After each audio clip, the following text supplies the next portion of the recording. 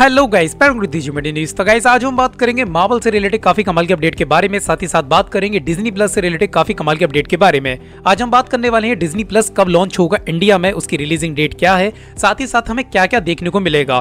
तो पहले छोटा सा शॉर्ट डिस्क्रिप्शन जो की फैंस नए हैं, उनको कुछ पता नहीं है डिज्नी प्लस के बारे में। तो डिज्नी प्लस एक स्ट्रीमिंग सर्विस है और डिज्नी कंपनी ने डिसाइड करा था कि वो सारी मार्वल की जितनी भी मूवी हैं चाहे स्टार वॉर्स की हैं, चाहे और भी काफ़ी जितनी भी कंटेंट हैं डिज्नी के, और जो अपकमिंग टीवी सीरीज़ होंगी, वो अपनी स्ट्रीमिंग सर्विस बनाकर उस पर प्रेजेंट करेगा। और उसकी एक ऐप भी बनाएगा गूगल प्ले स्टोर पर, जो कि उस पर वो सारा कंटेंट करेगा। जैसे कि नेटफ्लिक्स अमेजोन प्राइम आप उस पर मंथली कुछ पेमेंट दे के कोई भी any time TV series movie देख सकते हो।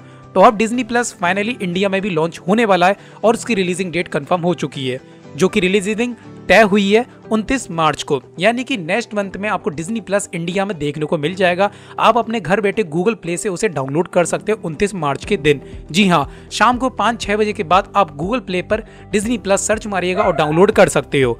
और आपको बता दूँ कि बॉब लैंगर ने कंफर्म कर दिया, जो कि डिज्नी के सीईओ हुए हैं, उन्होंने बोला है कि डिज्नी प्लस हॉट स्टार ये एक साथ ही लॉन्च होंगे। यानी कि हॉट स्टार पे एक अलग से फोल्डर भी बन जाएगा, जिसपे कि डिज्नी का कंटेंट हमें देखने को मिलेगा। जितनी भी मार्वल की टीवी सीरीज़ होंगी, वो डिज्नी प्लस पे लॉन्च होंगी और हिंदी में कन्वर्ट होकर हॉट स्टार पे दिखाई जाएँगी।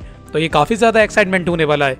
तो गाइस कैसा लगा अपडेट कैसा लगा वीडियो अगर आप ये वीडियो यूट्यूब पे देख रहे हो तो मेरे चैनल को सब्सक्राइब करें फेसबुक पे देख रहे हो पेज को लाइक करें। रियली में आपको ये वीडियो पसंद आए तो भी लाइक कमेंट शेयर करो। जो मत इस वीडियो को नहीं देखो या तो उस पर थैनोस के हाथ मारो, या पैर मारो। पर और कुछ मत मानना। बाय जा रहा हूँ and